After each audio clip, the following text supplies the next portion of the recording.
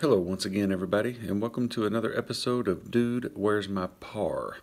I am your host, Jung64, and today's episode, I have a question that I will field from our first international viewer who comes all the way from Canada, which at first I thought it was overseas because I'm not very good at where places are, and I was told that it's our friends to the north. So, anyway, now I know where Canada is, which is awesome because I didn't know that before. I know they have a leaf on their flag, and it's kind of a cool looking flag. But anyway, um, and I do like. I think that their women's curling team in the Olympics year in year out is one of the hotter ones, along with Switzerland and Sweden. Anyway, uh, moving on.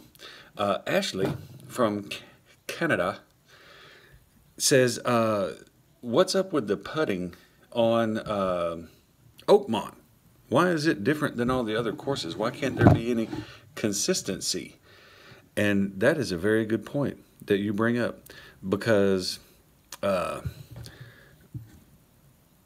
mainly on a lot of the courses, you at least get a consistent read, and the speed is fairly close to what it should be. Now, Kiawah is a whole other animal. You cannot get an angle where you can even tell any type of direction where the putt is going to go. You could have a three foot putt that's going to break six times on Kiawah. Um, but I know what you're getting at is the speed difference on uh, Oakmont. Oakmont is a roller coaster ride, and it's it's not like you're caddying for Tiger and have to read these greens for him, because he could probably do it.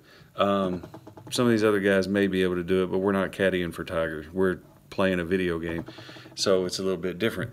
Um, you you want on that particular course, you want to try to stay below the hole, but it's very difficult to stay below the hole because, in my personal opinion, and I'm a conspiracy theorist as to everything that goes on. I think they change where below the hole is every time you play the course. Um, sometimes you can go a little bit short left, you may have an uphill putt. The next time you go a little bit short left, you may have a downhill putt.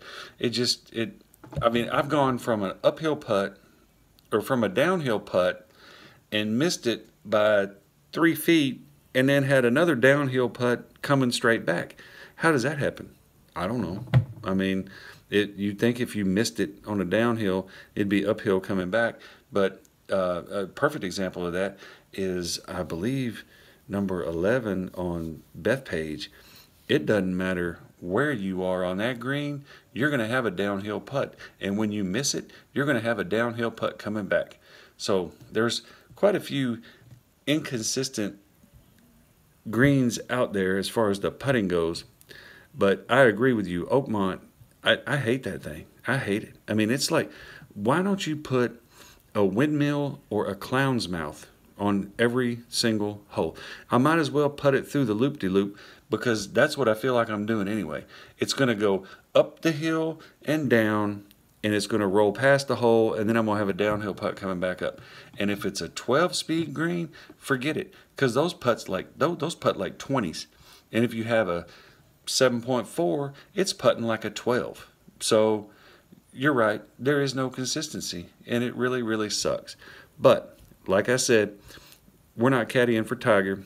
We're playing a video game for ourselves, and a lot of it, a lot of us are pretty good at it, and some of us aren't and here lately I'm following into the aren't category because the meter skips and everything else have just gotten outrageous to the point where I've I, I did break a phone and now I'm on another one. And uh, luckily I have two iPads as backup. So uh, if it continues to get as bad as it is those may go out the window too. So anyway hang in there everybody. Keep the questions coming. Hope y'all had a good fourth and uh, Happy Canada Day that I found out was that was before our fourth, and that's reason to celebrate. So enjoy. All right, I learned something today. Awesome. See you guys later. Bye.